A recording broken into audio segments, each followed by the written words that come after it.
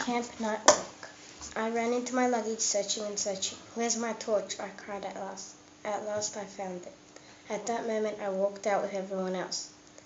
This was it. It was time, dark and icy cold. I quickly put my jumper on. What animals would be out here, I thought. Were they going to attack or were they not? Or were they not? So many thoughts running up my mind. I was trembling with nervousness. I felt like the torch would slip out of my palm any moment now. I was shaking with fear and I also felt the fear of the unknown.